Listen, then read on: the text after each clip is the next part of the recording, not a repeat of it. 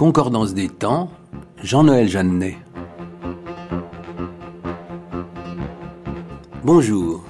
La semaine prochaine se déroulera la 33e édition du prestigieux Festival du film d'histoire de Pessac, près de Bordeaux. Le thème en est cette année Notre Terre. Et j'ai souhaité braquer à cette occasion l'attention sur un grand géographe, en le replaçant dans l'histoire. Ce géographe, c'est Élisée Reclus. Ses écrits, parmi lesquels brille précisément un ouvrage impressionnant intitulé L'homme et la terre, lui valurent en son temps, au XIXe siècle, auprès d'un large public, la réputation d'un auteur majeur dont l'influence dépassa les frontières de la France. Et pourtant, pourtant il se trouve qu'il est aujourd'hui tombé à peu près dans l'oubli, si bien qu'on éprouve le goût de contribuer à le faire redécouvrir, tout en s'interrogeant à la fois sur les motifs qui l'ont relégué dans la mémoire collective et sur la vitalité d'un héritage qui peut retrouver ses couleurs. Autour d'Élisée Reclus, la curiosité s'élargit à sa famille entière, en particulier à ses frères Élie, Onésime et Armand, et à ses six sœurs, toutes enseignantes, qui ont été en profonde solidarité à proximité de ses recherches et de ses convictions. Béatrice Gibelin est mon invitée. Directrice de la précieuse revue de géographie Hérodote, où l'on aime aussi beaucoup l'histoire, comme son nom l'indique, elle y a publié deux textes sur Élisée Reclus qui ont été remarqués et qu'elle a réunis en un volume destiné à célébrer, c'est son sous-titre, un géographe d'exception. Elle va nous guider vers la compréhension d'un personnage qui, servi par un beau talent de prosateur, s'est voulu libertaire et anarchiste, loin des nomenclatures fastidieuses et des conventions bourgeoises. Il avait, quant au rôle social, civique, moral de la discipline, des convictions généreuses dont vous allez voir qu'elles peuvent résonner, et pas seulement du côté de l'écologie, d'une façon étonnamment actuelle. J'aime beaucoup ce genre de vie. Se lever avant le jour, ou bien lorsque les nuages commencent à surgir un peu, marcher au milieu des forêts, des sentiers, dans les herbes fraîches de rosée, s'arrêter sur le bord d'une fontaine, sous les rochers, pour manger son pain et son fromage, gravir à travers les pierres qui s'écroulent et vont bondir à plusieurs centaines de mètres plus bas, se souvenir qu'on a été nourri par une chèvre en escaladant les rochers, monter sur un pic pour contempler un admirable paysage de montagne, puis redescendre sur le gazon des pentes, quelquefois aussi sur les chemins pierreux pour gagner son dîner à la sueur de son front. Tout cela me plaît infiniment.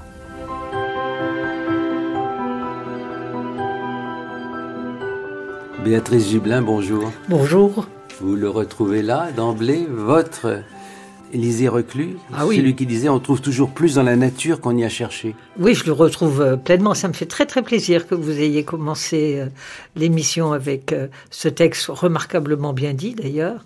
Et on a tellement Élisée là-dedans, dans ce, plaisir qu'il avait à, marcher, à marcher en montagne. Il y a, aussi l'effort physique hein, qui compte chez, chez Élisée Reclus. C'était un tout petit bonhomme. Il, il, était vraiment très, très petit, mais très musclé. Et il paraît qu'on avait du mal à le suivre, surtout quand on était en train de une montagne.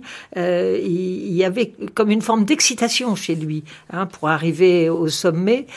Euh, mais c'est vrai aussi que, euh, maintenant j'en fais plus, mais j'en ai fait beaucoup de la randonnée en montagne et le plaisir d'arriver en haut et de la découverte du paysage.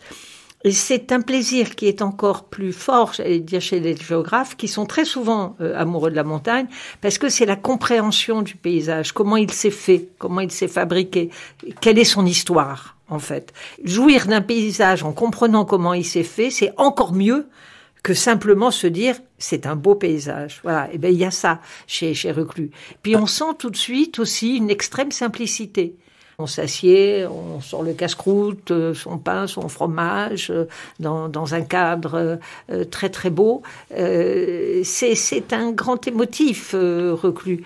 Pour vous raconter une anecdote, la première fois qu'il a vu la mer, hein, ils étaient donc dans le sud-ouest, ils étaient du côté d'Orthez, il est parti avec son frère et un ami. Et quand ils ont, sont à pied, bien sûr, et quand il a vu la mer pour la première fois, donc il était sur un point haut, d'émotion, il a mordu son frère, l'épaule de son frère jusqu'au sang. C'est effrayant. C'est effrayant, mais c'est pour donner le, la puissance d'émotion que, que, la nature, que les éléments peuvent, peuvent produire chez, chez Élisée Reclus. Puisque vous évoquez ce geste un peu étrange, mais qu'on peut probablement interpréter de façon différente, cette morsure-là, ça me conduit très directement à vous demander d'évoquer quel est le milieu d'origine qui a beaucoup, beaucoup marqué forcément euh, euh, Élisée Reclus, un milieu de protestantisme euh, assez rigide du côté du, Bordelais. Alors, c'est le moins qu'on en puisse dire qu'on ne peut pas ne pas être marqué par une famille comme ça.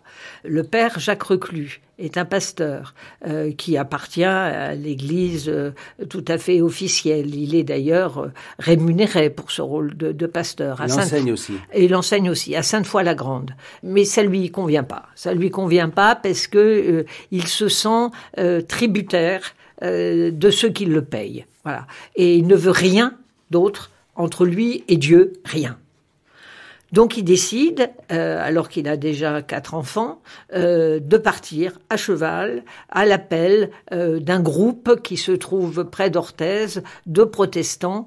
il part à cheval en prenant son fils Élie, qui est le frère aîné d'Élisée, euh, qui se souvient de sa, un peu de sa frayeur d'être contre son père qui galope, galope, galope comme ça pour s'en aller dans, les Pyrénées.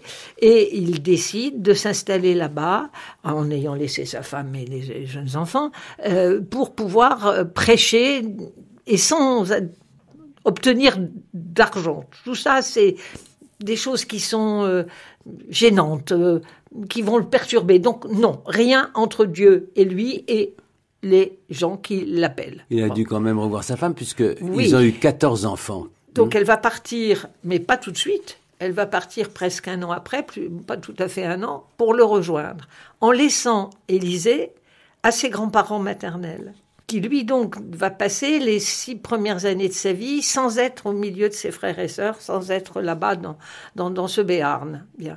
Mais ensuite, il, il, rejoint, il est dans une tribu qu'on peut, tribu c'est une expression protestante, qu'on peut peut-être définir, euh, comme vous le faites, autour de quatre idées. Euh, amour du travail scientifique, esprit d'indépendance, farouchement amour et respect des humbles, et puis tendance aussi au prosélytisme moral et social. Oui, ça, c'est exactement le guide d'une certaine façon. Alors, ils vont, ils vont tous garder ça du, père, mais le père était infernal entre nous. Hein. Il avait un côté euh, mystique et, euh, je dirais, presque méchant. Hein, L'ambiance ne devait pas être prime sautière. Ah non, c'est le moins qu'on en puisse dire. Et, et, je pense que la mère a fait ce qu'elle a pu. Et la mère, elle, enfin, c'est tellement souvent le cas des femmes, elle va assurer le quotidien pour ses enfants et elle va euh, elle venait d'un milieu plus aisé avec un petit peu de bien. Bon elle a dû tout, tout laisser et elle va devenir institutrice bah parce que il faut bien faire rentrer un peu de sous pour nourrir euh, tous ces tous ces enfants. Et ils vont prendre après une plus grande maison ça sera presque un pensionnat. Il y aura des filles de milieu protestant bien sûr qui viendront euh, suivre les cours de de cette femme absolument remarquable. Élisée avait une grande grande, affection pour sa mère, euh, même s'il n'a pas passé une grande partie de sa petite enfance avec elle, puisqu'il était chez ses grands-parents. On est très frappé du fait qu'il y a très tôt une sorte de mobilité intrinsèque à ça. D'ailleurs, c'est paradoxal, c'est presque un oxymore quand on s'appelle reclus d'aller se promener beaucoup. Mais peut-être que ça a joué, on ne sait jamais.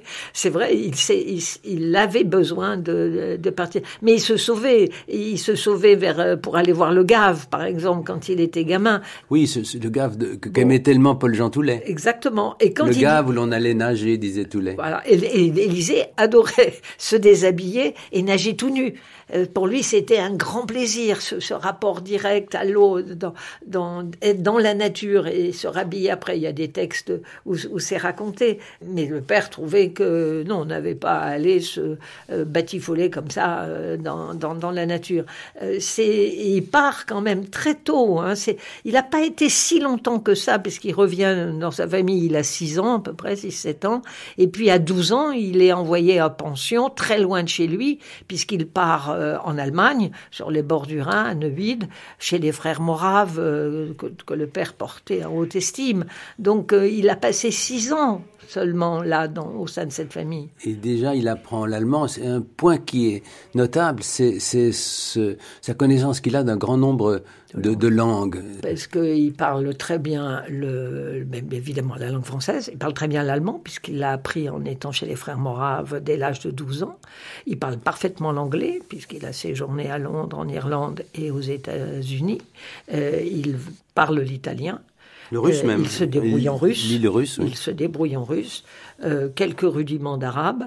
Euh, je trouve que c'est quand même pas mal. hein. Alors, décrivez-nous les itinéraires de ce gyrovague pour que l'on comprenne euh, comment il s'est formé et comment, chez lui, le goût passionné de la géographie, d'une certaine géographie dont nous allons analyser les spécificités, est né. Alors, il part donc en diligence, seul, euh, parce qu'il n'y a pas d'argent pour que sa mère puisse l'accompagner, à 12 ans, où il rejoint son frère aîné qui y est déjà. Et il y aura eu la sœur aînée aussi euh, dans, cette, euh, dans, cette situation. Et puis, il va y rester quelques, temps. Et puis, il, il va décider, en fait, il va revenir avec son frère. Et c'est assez étonnant parce qu'ils ils reviennent à pied. Et ils font toute la traversée de la France à pied. C'est un en septembre. C'est un souvenir formidable. Il en parlera très longtemps. Euh, il adorait son frère. hein. Comme le Tour de France des deux enfants. Et cette Oui. idée de fraternité est très importante Ah, chez lui, je crois. Chez lui, es- essentiel. Enfin, Élie, c'est son alter ego. C'est vraiment euh, un frérissime, comme il dira pour euh, pour parler de lui. Avec beaucoup de tendresse aussi pour ses sœurs, c'est, ont toutes été des enseignantes. Que, qui, C'est une autre famille d'enseignants. Et notamment Noémie, nous, nous, allons, nous allons le voir. Voilà. Et donc, ils, reviennent euh, à ce moment-là en, dans le Béarn, bien sûr. Et puis, euh, c'est, ce, ce voyage, a 19 ans, est, est extrêmement euh, important. Puis, il va repartir faire des études à Berlin. C'est important, Berlin. Parce qu'à Berlin, c'est le seul endroit où on enseigne la géographie. Euh, c'est Ritter, qui est le premier grand géographe, qui a écrit un gros ouvrage, que Reclus traduira d'ailleurs en, en français. Même s'il est assez loin de ses que c'est assez darwinien. euh, Oui, l'idée que les peuples sont faits pour dominer d'autres peuples pour des raisons en quelque oui, sorte mais intrinsèques. C'est vrai, mais c'est quand même euh, le, le premier qui réfléchit sur euh, les continents, l'agencement des continents. euh, il y reste un an, hein, c'est pas non plus énorme, et il va donc après ça quitter, mais il va donner des leçons aussi à Berlin. Et il fait déjà preuve de caractère parce que euh, il avait l'occasion, de- il n'avait pas un sou, hein, il avait l'occasion de travailler euh, dans, une famille, mais non, il a trouvé qu'il serait pas assez libre pour raconter ce qu'il voulait, donc il, il n'y est pas resté.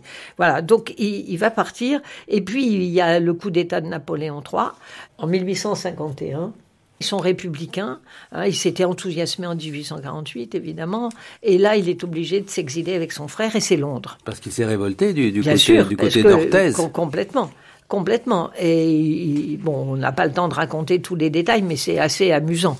Euh, voilà comment les choses se passent. Bref, Il a étaient- connu d'ailleurs dans sa vie deux exils en fait. Oui, Un premier exil euh, à cette occasion et le second après la commune. après la commune.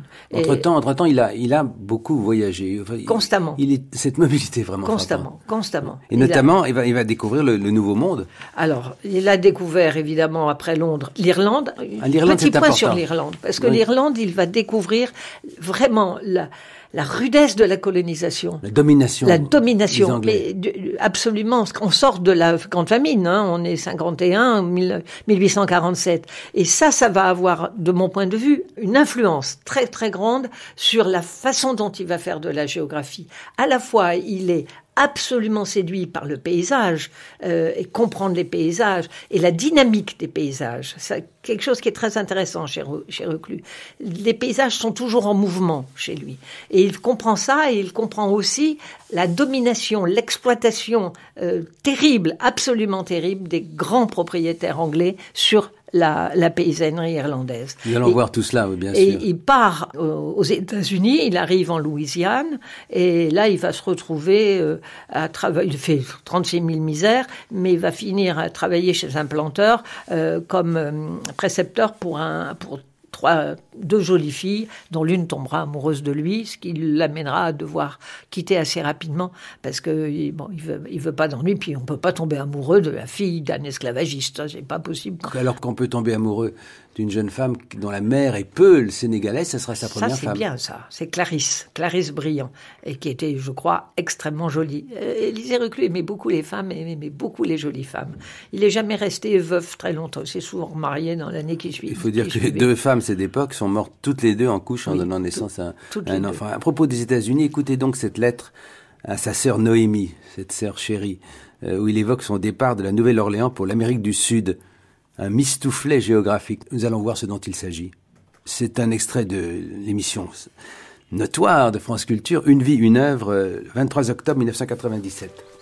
Lettre à sa sœur Noémie. Dans quelques jours même, je vais courir les hôtels et tous les bordels de la Nouvelle-Orléans pour y trouver un professeur qui consente à endosser le carcan et à manger des piastres à ma place. J'ai mes raisons pour filer.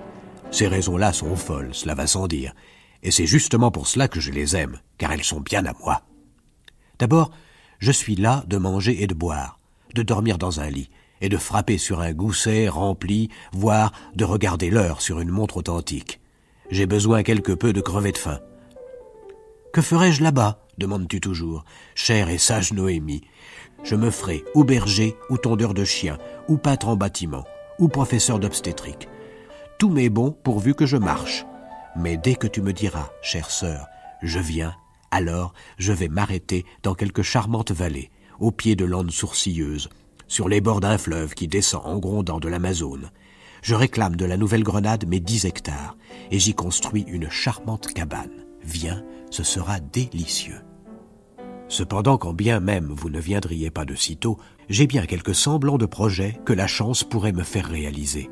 Vous savez, ou plutôt vous ne savez pas, que je suis enceint depuis longtemps d'un mistouflet géographique que je veux mettre au monde sous forme de livre. J'ai déjà suffisamment griffonné, mais cela ne me suffit pas. Je veux voir les Andes pour jeter un peu de mon encre sur leur neige immaculée. Pour ce, je m'achète un mulet. Je le charge d'une caisse remplie de fils, d'aiguilles et d'épingles, et je vais de montagne en montagne, et de ville en ville, les vendre aux hommes reconnaissants. N'est-ce pas, Noémie, que tous ces plans sont fort sages voilà en effet, Béatrice Gibelin, des plans forçage. Je rappelle que mistoufler, c'est un mot qui vient du mot mistoufle dans le moyen français, qui veut dire euh, misère, pauvreté. Un mistouflet, c'est un maladroit, c'est un, c'est un. Évidemment, c'est auto-ironique. Bien sûr. Ce mistoufler, euh, c'est aussi euh, un petit. Hein. C'est pas seulement un nigo, c'est aussi un petit. Et c'est en Irlande qu'il a l'idée de faire cet ouvrage-là. Euh, c'est dans un paysage d'Irlande, il l'écrit très très bien, euh, et qu'il dit ben, si j'arrive à faire ça, ben, j'aurais pas tout à fait perdu mon temps.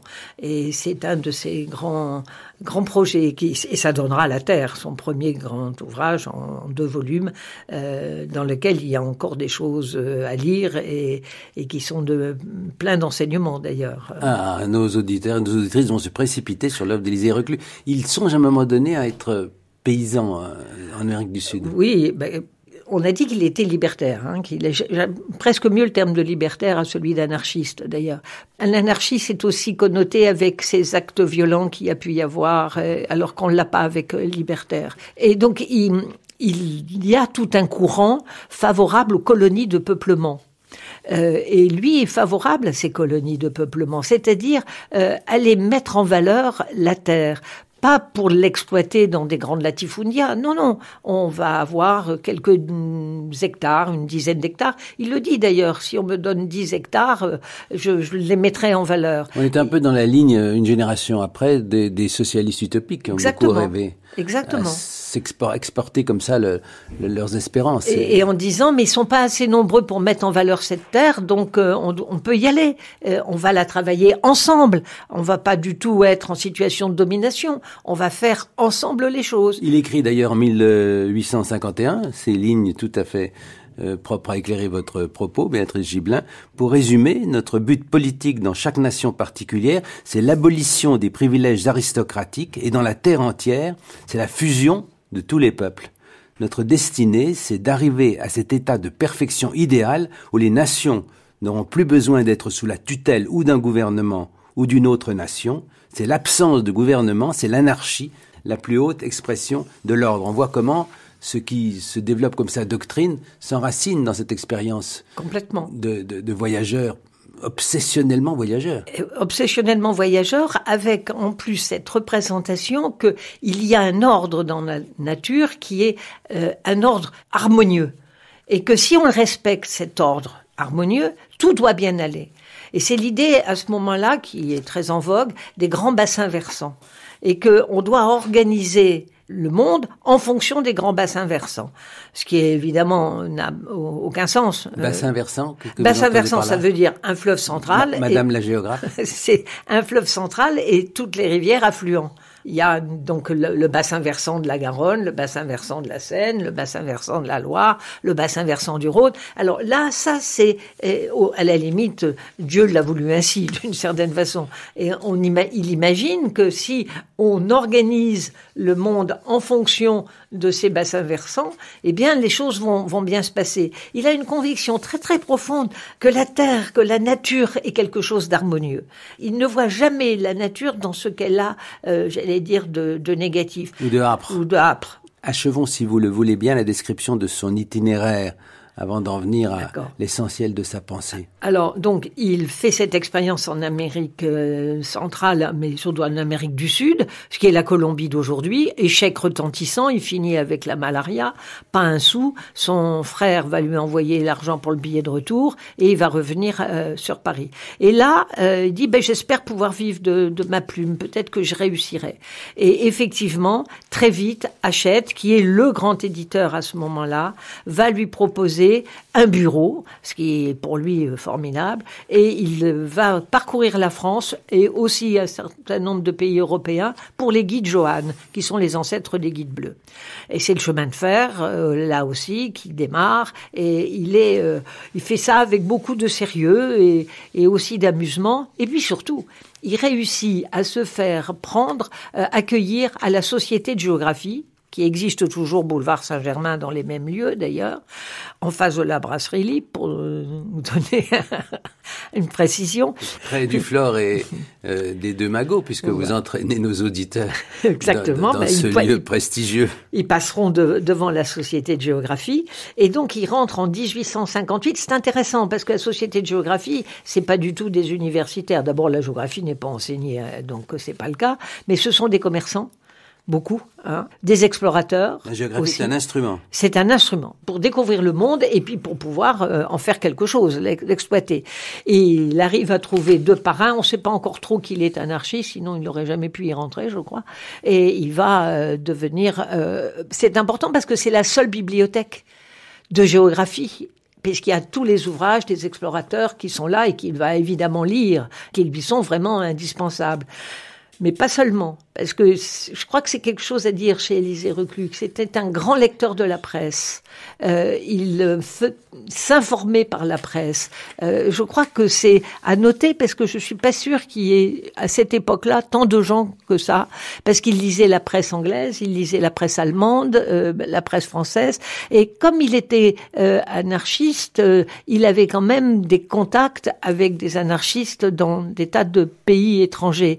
mais je pense que c'est très important ça. Il y a chez lui euh, ce travail de, en bibliothèque. D'ailleurs, son frère, est curieux de le noter, son frère Élie a contribué à sauver la Bibliothèque nationale au moment de la Commune. C'est vrai. Euh, mais, mais, pour donner encore l'idée de son goût de la marche, notamment en montagne, écoutez cet extrait du Sentiment de la nature, un texte de jeunesse, il avait une trentaine d'années. C'est euh, un extrait de La vie comme elle va de Francisca Piolo, le 1er avril 2004. D'où vient cette joie profonde qu'on éprouve à gravir les hauts sommets? D'abord, c'est une grande volupté physique de respirer un air frais et vif qui n'est point vicié par les impures émanations des plaines. On se sent comme renouvelé en goûtant cette atmosphère de vie. À mesure qu'on s'élève, l'air devient plus léger, on aspire à plus longs traits pour s'emplir les poumons, la poitrine se gonfle, les muscles se tendent la gaieté entre dans l'âme. Et puis, on est devenu maître de soi-même et responsable de sa propre vie. Le piéton qui gravit une montagne n'est pas livré aux caprices des éléments, comme le navigateur aventuré sur les mers. Son œil lui sert à éviter les pierres du sentier, à mesurer la profondeur des précipices, à découvrir les saillies et les anfractuosités qui faciliteront l'escalade des parois. En mille occasions, durant l'ascension d'une montagne escarpée, on comprend qu'il y aurait à courir un vrai danger si l'on venait à perdre l'équilibre, ou si le regard était tout à coup voilé par un vertige, ou si les membres refusaient leur service. C'est précisément cette conscience du péril, jointe au bonheur de se savoir agile et dispos, qui double, dans l'esprit du montagnard, le sentiment de la sécurité. Quant au plaisir intellectuel qu'offre l'ascension, et qui du reste est si intimement lié avec les joies matérielles de l'escalade, il est d'autant plus grand que l'esprit est plus ouvert, et qu'on a mieux étudié les divers phénomènes de la nature. Élisée reclus, du sentiment de la nature. Il me semble, Béatrice Gibelin, que ce texte complète celui que nous avons entendu euh, à l'origine de notre émission. Oui, bien sûr, mais de nouveau, on a ce plaisir d'être dans la montagne, la façon dont il en parle. Et quand il dit euh, on a besoin de tenir son équilibre, hein, on se rend compte que si on ne tient pas l'équilibre, là, les choses vont, mal se passer.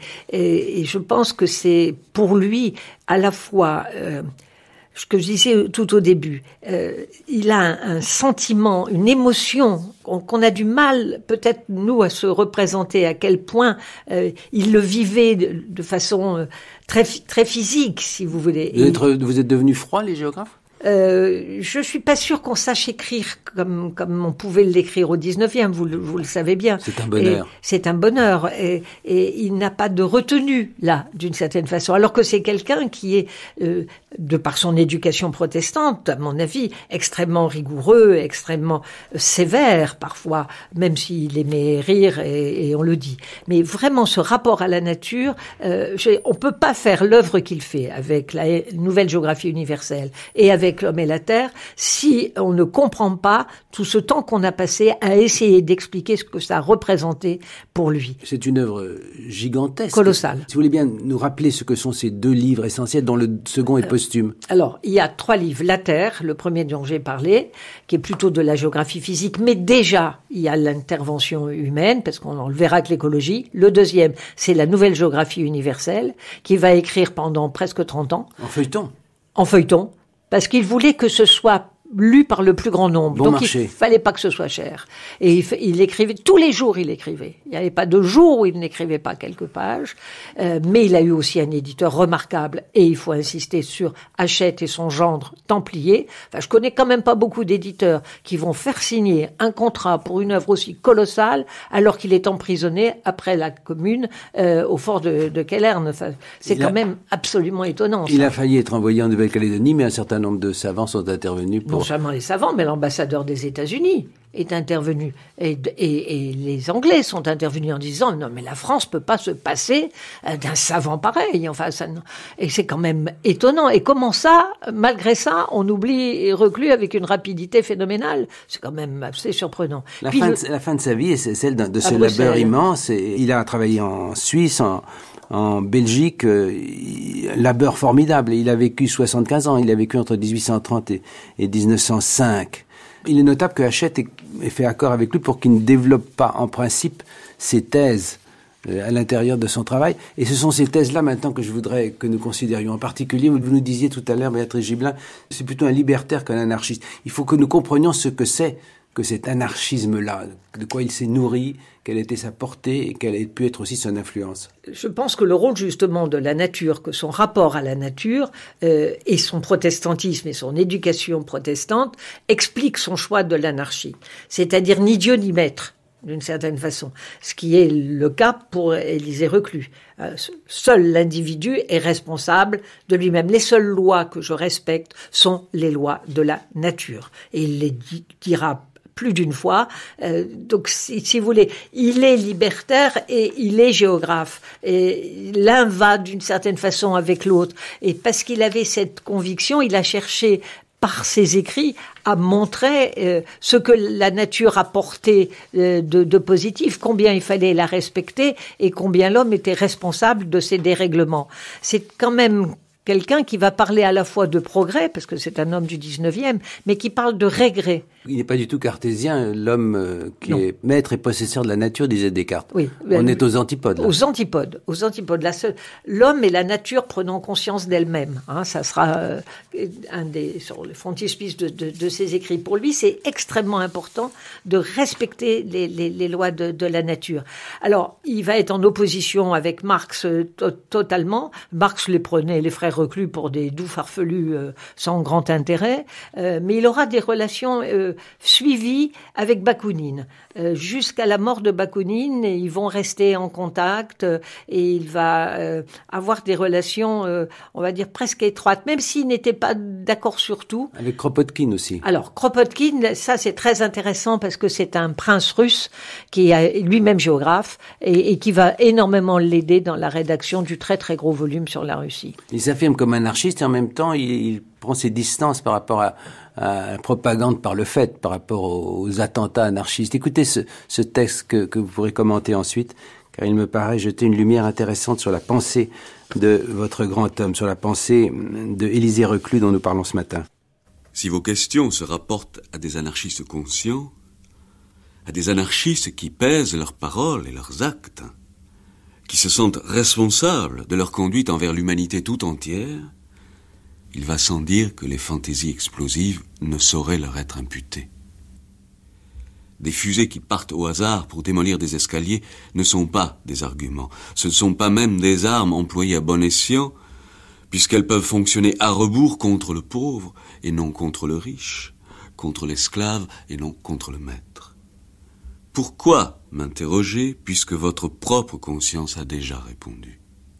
Ni pour vous, ni pour moi, ni pour aucun anarchiste s'étant élevé à la compréhension de la dignité humaine et du respect d'autrui comme un autre soi-même, il n'est bon de haïr à l'aventure et de combattre en se cachant.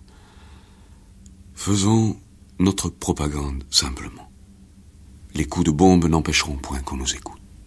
Vous devez connaître cet euh, extrait, Béatrice Gibelin, puisqu'il est emprunté au chemin de la connaissance en juin 83. C'était une émission de Patrick Vieuxville. Oui, effectivement. On va pas s'étonner qu'Élisée Reclus soit euh, pacifiste et soit pas partie prenante pour les actes de violence, même s'il arrivait parfois à excuser euh, un acte violent dans des situations extrêmes de domination et d'exploitation. Et donc, on pouvait se révolter. Mais bien sûr, euh, au moment des attentats anarchistes à Paris, il va s'y opposer parce que c'est pas sa façon de faire. Le respect qu'il a pour la vie humaine et pour chaque individu est tel qu'il ne peut pas être un partisan effectivement de la lutte armée. Même si dans la, co- à la commune il a pris les armes, Euh, ça il faut pas l'oublier. Mais ça n'a pas duré longtemps puisque son bataillon s'est fait arrêter tout de suite et il a été emprisonné immédiatement. Il a échappé aux fusillades ultimes. Oui, il a échappé la au commune. fusillade, effectivement. France Culture, Concordance des temps, Jean-Noël Jeannet. Parenthèse, il était végétarien?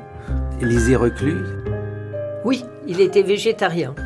Et cela nous conduit alors à, à ce que sa pensée peut signifier aujourd'hui du côté de, de l'écologie. C'est un des domaines où il me paraît, Béatrice Gibelin, sonner le plus actuel.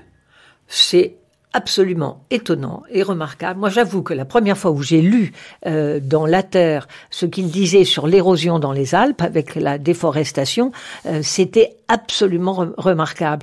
Euh, on y est à la situation actuelle aujourd'hui. Ce qu'il décrit euh, en ce milieu du 19e siècle est la responsabilité de l'action des hommes dans une mise en valeur non raisonnée, non raisonnable et d'une actualité absolument totale. Vraiment, il faut lire Élisée Reclus. J'ai écrit que c'était un écologiste avant l'heure. Ô combien Et, vous allez voir que cette euh, nouvelle archive que je vais vous donner à entendre, oui, comme vous le dites, euh, sonne incroyablement euh, contemporaine. Déforestation, inondation, érosion, climat, c'est un extrait de l'émission Le cabinet de curiosité d'Emmanuel Hirsch, le 18 novembre 1997, sur France Culture.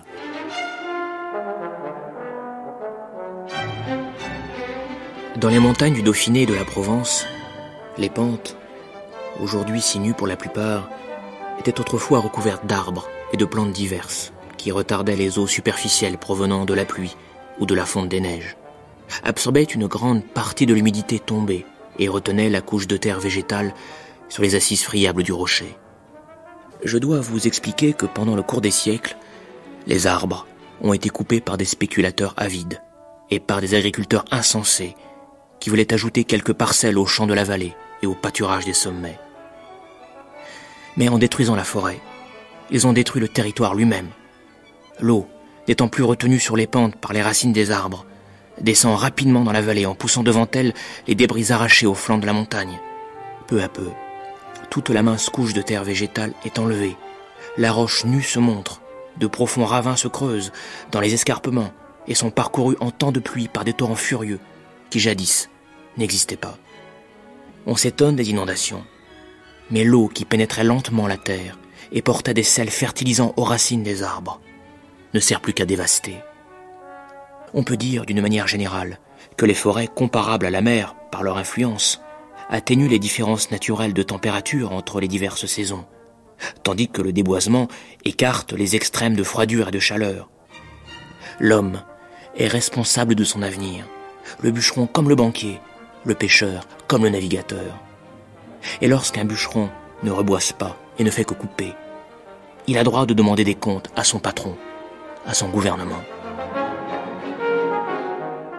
Quel, texte, Quel texte Il n'y a pas un mot enlevé de cela. Ça pourrait être écrit euh, il y a euh, quand on a eu les grandes coulées boueuses euh, qui ont coupé les routes il y a plus il y a pas très longtemps dans, dans les Alpes. Mais comment a-t-on pu oublier et tout ça. Pour moi, c'est une grande interrogation. Comment les géographes qui se sont tant développés, bien après Élisée Reclus, sont partis sur une géographie physique de, géomorphologie? Il y a eu de très grands géographes, il y a eu de très grands géomorphologues, mais qui ont perdu cette dynamique qu'il avait dans sa description euh, des, actions humaines. Euh, les phénomènes d'érosion qui aujourd'hui reviennent, on le voit avec le, le, problème sur les littoraux, on se rend bien compte de tout ça. Euh, mais combien c'était déjà présent. Il écrit quelque part l'amour du lucre obscurcit les esprits et leur voile la beauté de la terre. C'est exactement ça. Euh, c'est mais je crois qu'il pouvait le comprendre comme ça parce qu'il avait euh, parcouru, marché. Je crois que pour Élisée Reclus, la compréhension profonde que la nature est quelque chose de vivant et de dynamique euh, lui permet justement de ne pas passer à côté euh, des questions d'écologie, de qu'on a laissé tomber pendant quand même beaucoup, beaucoup trop longtemps. Je ne comprends pas pourquoi ce n'est pas aujourd'hui les géographes qui sont les premiers qu'on devrait entendre sur toutes les radios partout, parce que c'est eux qui ont le plus d'outils pour expliquer les contradictions, les paradoxes du monde dans lequel nous sommes aujourd'hui toutes les radios, en tout cas vous êtes à celle-ci. Oui, oui, je suis tout à fait d'accord. Cet appel sera, sera entendu. Alors nous parlions du luxe, cela conduit à la nécessité d'analyser l'idée qu'il se fait du capitalisme. Ah, et, de ses effets, ah. et de son organisation, et de ses périls. Là encore, il y a des textes de lui qui sont tout à fait prémonitoires. Ah ben, quand il parle de la mondialisation, c'est l'un des premiers à expliquer la mondialisation en disant que la, la, danse dans laquelle rentrent tous les peuples, avec lequel il y aura toute une, une hiérarchie de, de, la domination. Euh, quand il parle de l'impérialisme britannique, quand il annonce, on est bien avant la Première Guerre mondiale, il annonce que ce sont les États-Unis qui deviendront la première puissance, ce qu'elle deviendra après la, Première Guerre mondiale. Il est tout à fait conscient que c'est là que ça va se jouer et qu'on aura des rivalités d'impérialisme qui vont avoir, des conséquences extrêmement importantes. Il parle beaucoup de la Russie, de la Russie comme étant une puissance impériale euh, qui va s'affronter, au fond c'est ce qu'on appelle le grand jeu entre l'impérialisme britannique et l'impérialisme russe. Tout ça est d'une actualité euh, absolument remarquable. Alors, c'est pas un visionnaire, c'est surtout quelqu'un qui euh, s'informe très très bien. J'ai dit qu'il utilisait énormément la presse, il utilise énormément ses correspondants à l'étranger, il voyage beaucoup, et, c'est parce qu'il est capable de faire cette analyse des rapports de force politiques qu'il va euh, pouvoir nous expliquer, au fond, qu'on est euh, en processus de mondialisation, qu'il appellera d'ailleurs progrès et regret. Voilà Ce qui est formidable avec lui, si vous voulez, c'est que il a conscience de la hiérarchie des oppressions. C'est pas une vision simple, les gentils et les méchants, les riches et les pauvres. C'est beaucoup plus compliqué que ça. Il a des textes extrêmement intéressants sur comment le pauvre pèse sur plus pauvre que lui. Comment le pauvre exploite le plus pauvre que lui. Il a un sentiment profond des échelles, ça qui frappe à le lire, des différentes échelles qui lui permet de n'être jamais simpliste à cet égard. Exactement. Par exemple, quand quelque chose se passe au niveau d'un quartier, il sait comprendre pourquoi ce qui se passe, par exemple, dans un ghetto aux États-Unis est le résultat euh, de très grandes, simplement trafic d'esclaves, qui met en jeu des espaces beaucoup plus vastes. Euh, il n'est pas jamais focalisé sur une seule échelle. Eh bien, écoutez donc cette euh, dénonciation de la monoculture, qui lui paraît un très grand péril, fruit direct du capitalisme. La monoculture au Brésil, c'est un extrait de la nouvelle géographie universelle, cette grande œuvre que vous venez, Béatrice Gibelin, de célébrer pour nous. L'industrie du café au Brésil, et notamment dans l'état de Sao Paulo, où l'on compte plus d'un million de plants, est une merveille de l'agriculture et fait l'étonnement des économistes. Mais on peut se demander, sans parti pris contre le régime de la grande propriété, s'il n'y a pas danger à sacrifier toutes les productions à une seule, tant fructueuse qu'elle soit. La population, rapidement croissante, se trouverait exposée à un appauvrissement soudain si quelque phénomène économique ou un désastre naturel venait à tarir tout à coup la source de cette étonnante richesse le, Brésil, et puis il nous parle aussi, il nous parle aussi de l'Inde, la colonisation en Inde, et son propos rejoint tout à fait ce que vous venez de nous dire sur cette euh, délégation des oppressions en quelque sorte. Les pays les plus fertiles, du moins dans les bassins du Gange et du Brahmapoutre, sont précisément ceux dont la population vit dans la plus abjecte misère. Les Talukdars de l'Aoud, les Amindars du Béar et du Bengale, les planteurs de l'Assam se sont partagés la contrée, favorisés par le gouvernement anglais, qui se compose lui-même de landlords, possesseurs d'immenses domaines. C'est ainsi qu'une grande partie de l'Inde a été changée en une autre Irlande. Ainsi la classe des riches propriétaires, hindous ou musulmans, se tient-elle pour solidaire des maîtres britanniques, auxquels elle doit son pouvoir et la rentrée régulière de ses revenus. On retrouve là l'analyse que vous nous proposiez après Élisée Reclus. Oui, mais ce qui est quand même assez remarquable, c'est il explique la colonisation de l'Inde par l'utilisation machiavélique des Britanniques des amindars, c'est-à-dire de ceux qui prélevaient l'impôt d'une terre collective, et ils les ont rendus à la limite propriétaires de cette terre. Ils les ont fait riches. Et ce qui est très intéressant, c'est que c'est très rare qu'on voit euh, quelqu'un étudier le mécanisme de la prise de pouvoir et de la domination. C'est-à-dire que les colonisations, elles ne se sont pas faites dans des guerres euh, extrêmement rudes, sauf l'Algérie. Ça, je mets à part. Mais c'est toujours parce que un certain nombre de locaux ont trouvé intérêt à faire alliance avec le colonisateur pour se libérer d'une autre oppression. Et c'est ça qui est intéressant chez Reclus, c'est qu'il est capable d'analyser les chaînes d'oppression son cœur va du côté des plus démunis, c'est bien évident. Mais il n'est absolument pas aveugle sur la violence que la misère fait peser sur plus pauvres que lui. On trouve toujours au fond euh, dans ce neuf courir trois thèmes, ceux qui sont les mêmes, c'est-à-dire d'abord l'existence de classes sociales qui sont différentes, qui sont opposées d'intérêts. Tout le monde ne ratifie pas à l'époque cette conviction, loin de là, notamment du côté du monde bourgeois. Ensuite, euh, la recherche de l'équilibre qui résulte de la lutte des classes, c'est-à-dire un affrontement entre ceux qui oppriment et ceux qui cherchent à conquérir la liberté. Et puis enfin, enfin, le rôle primordial de l'individu. Ça, c'est fondamental. C'est ça qui le met d'ailleurs à distance des marxistes, à très grande distance des marxistes. Rien ne se transforme, rien n'évolue si ce n'est par l'effort individuel. Et c'est là qu'il se montre un anarchiste convaincu pour que la seule société que l'on puisse dire libre est celle qui respecte la décision souveraine de l'individu. Exactement ça, profondément. Conduira ça toute sa vie, euh, jusqu'à sa mort.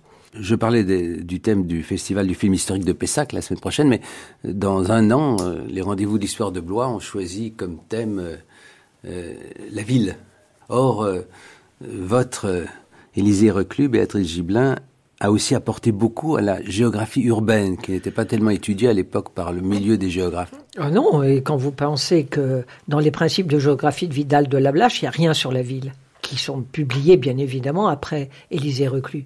Il y avait effectivement un travail fait de géographie urbaine qui était absolument remarquable, avec une cartographie d'une précision d'un certain nombre de quartiers. Les quartiers todifiés, par exemple, de Liverpool, qui sont remarquablement euh, cartographiés. Euh, New York aussi, les différents quartiers de New York sont aussi remarquablement bien faits.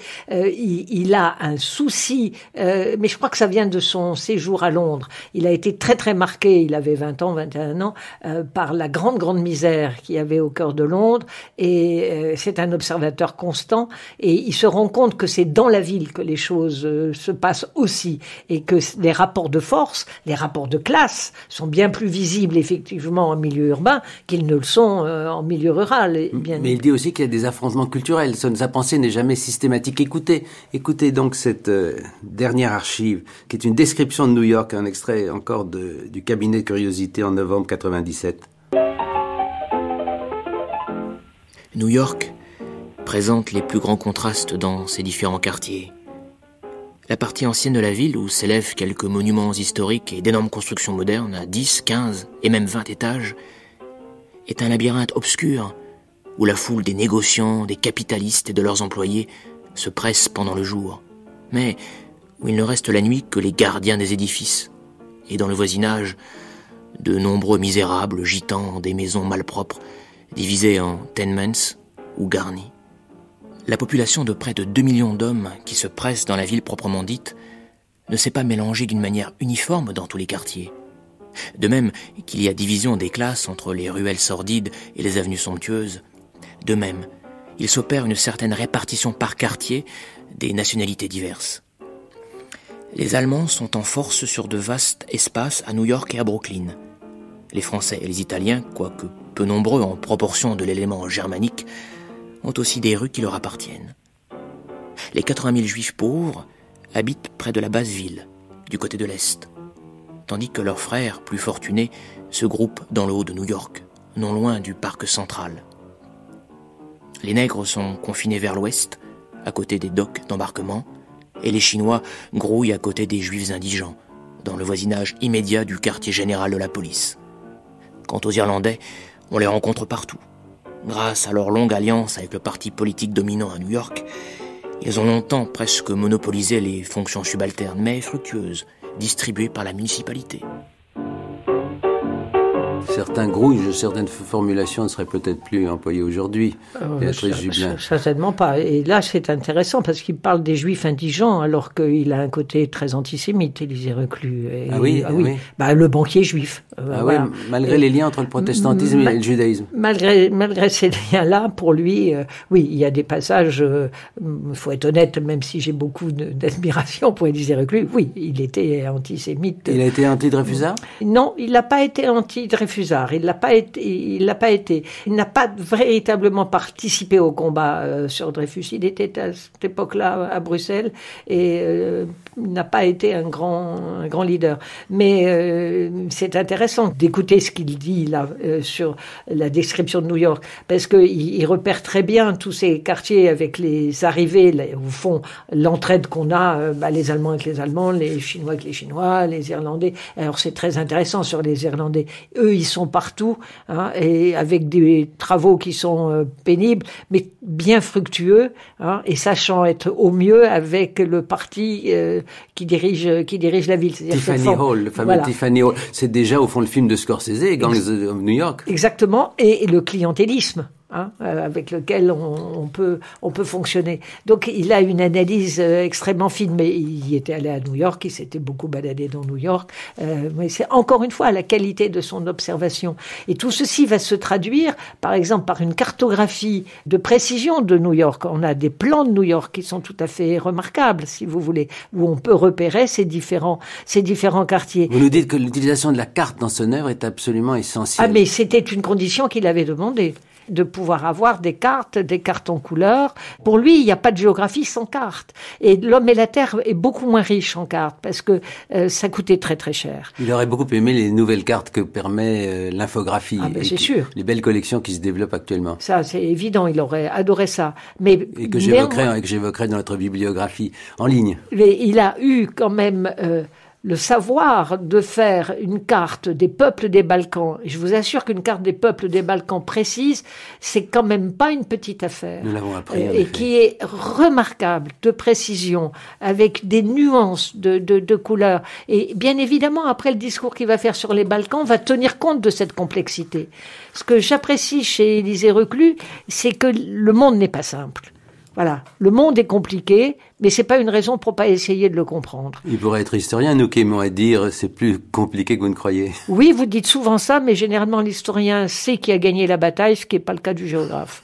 À propos de la géographie urbaine, Béatrice Gibelin peut qu'être sensible à la distance qui s'est créée entre, entre votre Élysée reclus, entre notre Élysée reclus aujourd'hui, et d'autre part le grand géographe qui était Vidal de Lablache. Je lui avais consacré une émission voici déjà longtemps.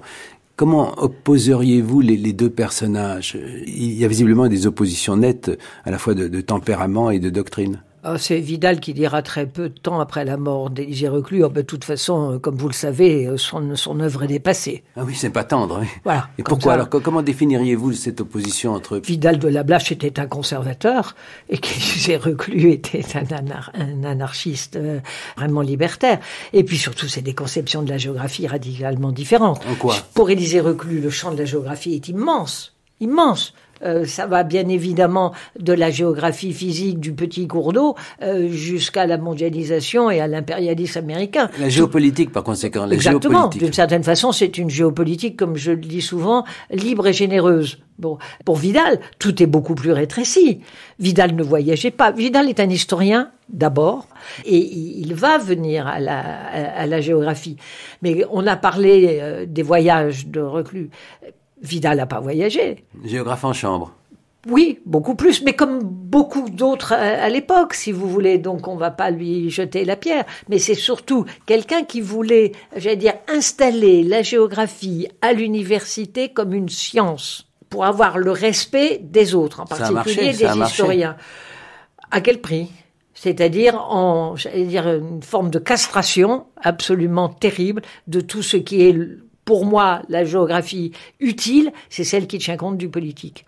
Donc, pour des raisons notamment chronologiques, Jules Verne a, a emprunté beaucoup plus, bien sûr, à, à, à Élisée Reclus qu'à Vidal de Lablache. Bien sûr, et ils ont eu le même éditeur pour publier l'histoire d'un ruisseau, qui a quand même été un livre de prix qui a été donné à des générations d'élèves. Il a été republié jusqu'en 1930, je crois, et il a été republié récemment. Livre de Reclus. Livre d'Élisée Reclus. Il est d'ailleurs significatif que Élisée Reclus ait souhaité écrire pour les Oui. enfants. Toujours cette idée que transmettre, sa compétence peut servir aussi le civisme Voilà. à venir. Es- essentiel. En plus que ce soit l'histoire d'un ruisseau, hein, parce que l'histoire d'une montagne c'est beaucoup moins intéressant. Mais l'histoire d'un ruisseau c'est effectivement absolument charmant, c'est vrai. Euh, et puis justement c'est de la goutte d'eau jusqu'à l'embouchure. Et c'est ça qu'il aime traduire, ce qui lui permet euh, d'accompagner l'enfant dans la découverte euh, à la fois des lumières, à la fois de l'érosion, à la fois des sons. Euh, c'est comme un petit film, ce, cette histoire d'un ruisseau. Il a eu, je sais pas combien d'éditions, mais je vous disais, jusqu'en 1930, euh, ça a été réédité. Vous n'avez pas dissimulé, Béatrice Gibelin, au long de cette heure de conversation, que vous éprouvez pour Élisée Reclus une dilection particulière. Je ne m'en cache pas. Et vous l'avez signifié dans ce livre que j'évoquais tout à l'heure, Élisée Reclus, un géographe d'exception, publication des éditions Kern en 2021. Kern, c'est un éditeur du, du Sud-Ouest, c'est-à-dire Oui, la, la région natale d'Élisée Reclus. Ce n'est pas le site que l'on connaît bien. Je viens de recevoir un livre qui euh, est éclairant, qui s'appelle Beauté de la géographie de Jean-Robert Pitt, qui est un des géographes les plus éminents actuels. C'est un ensemble de, de textes, de propos tenus devant euh, l'Académie des sciences morales et politiques. C'est une édition des presses universitaires de France. Alors, je signale aussi que vous avez donné, euh, si certains renaclent l'idée de se plonger dans cet immense ensemble que vous avez décrit, l'œuvre de Reclus, euh, de considérer les extraits que vous avez proposés de L'homme et la terre euh, à la découverte en 1998. C'est une réédition. Oui, la première édition de 1981. Quels critères vous ont guidé pour choisir dans cet ensemble tel ou tel texte à nous proposer? La partie la plus contemporaine de l'homme et la terre, puisque c'est une grande fraise historique. Hein. Donc j'ai choisi dans les deux derniers tomes, le 5 et le 6, tout ce qui me semblait d'une grande actualité et qui, euh, maintenant 40 ans après l'avoir écrit, me semble toujours d'une très très grande actualité. Je voudrais enfin que vous nous aidiez à mieux connaître encore cette belle revue que vous dirigez, c'est-à-dire Hérodote, qui a comme sous-titre Revue de géographie et de géopolitique. C'est une fidélité à Élisée Reclus, j'imagine. Incontestablement. Vous avez consacré deux numéros d'Hérodote à Élisée Reclus en 1981 et 2005. Est-ce que je me trompe en disant que vous avez, dans cette revue de géographe, beaucoup d'affinités avec, euh, avec notre muse Clio, avec, euh, avec l'histoire il n'y a pas de géographie sans histoire, il ne devrait pas y avoir d'histoire sans géographie. C'est Élisée Reclus qui disait euh, la géographie n'est autre chose que l'histoire dans l'espace, en même temps que l'histoire et la géographie dans le temps. Nous terminerons, si vous le voulez bien, sur ce propos qui montre